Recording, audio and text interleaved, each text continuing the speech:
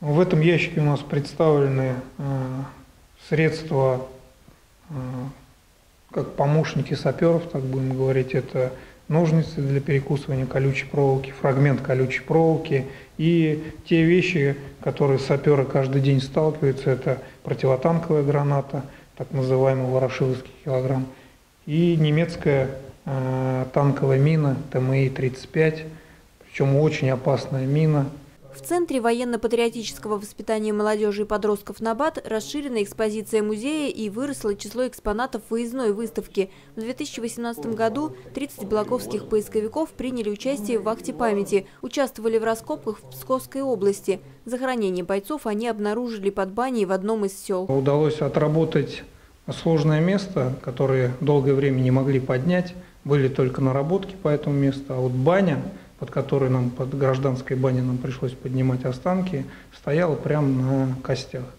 Вот. И это не совсем хорошо, и, наверное, для героев э, даже немножко кощунственно. Но местные жители не знали, что там захоронение. А вот поисковые отряды установили и все-таки решили э, поднять их и со всеми воинскими почестями похоронить как положено. Эта баня действующая, поэтому работать поисковым отрядом приходилось осторожно. Мы под самой баней не разрушая саму конструкцию бани, потому что понимаем преклонный возраст тех жителей, которые живут, и тем более в деревне без бани вообще сложно. Э, мы, не разрушая ее, вскрыв полы, э, сделали несколько шурфов для того, чтобы понять, есть ли там человеческие останки.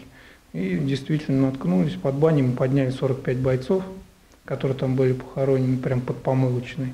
Вот. Э, рядом еще нашли 12, рядом с баней с торца, и с другой стороны еще шестерых подняли. К сожалению, личности погибших бойцов установить не удалось, потому что военной одежды на них не было. Это оказались солдаты из эвакопункта, который, судя по всему, и стал последним пристанищем раненых бойцов.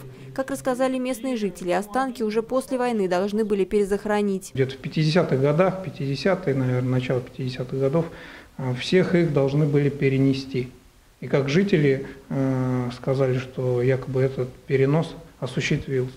Но в реалии мы наблюдали картину, что никого не переносили, и все воины остались лежать на этой земле. Эту миссию выполнили поисковики, перенесли останки бойцов на официальное захоронение рядом с памятником солдату-победителю. Но искать именно павших они не перестали. Ищем по госпитальным архивам, ищем список этих воинов скорее всего, что они есть. Если уцелела база на тот период и не разбомбили эвакопункт, э, то можно пролить свет на фамилии, но по, а, то есть по останкам установить личность, к сожалению, невозможно, потому что их ложили друг на друга, и, скорее всего, что учет ну, такой более точный не велся. Фотографии и находки с вахт памяти 2017-18 годов легли в основу обновленной экспозиции, которую балаковцы смогут увидеть на различных общегородских мероприятиях.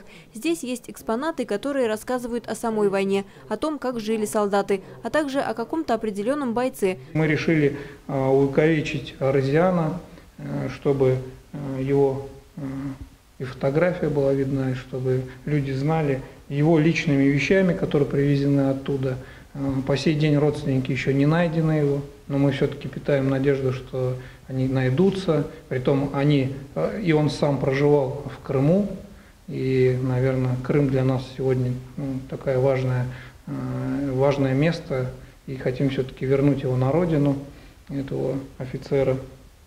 Здесь представлены все вот возможные, как муляжи его наград, которым он был награжден при жизни, так и личные вещи, в которых он был похоронен. В обновленной экспозиции 10 ящиков, и каждый рассказывает о какой-то странице в истории Великой Отечественной, о тех годах через людей, через их вещи, оружие и письма, для того, чтобы потомки помнили о подвиге наших солдат.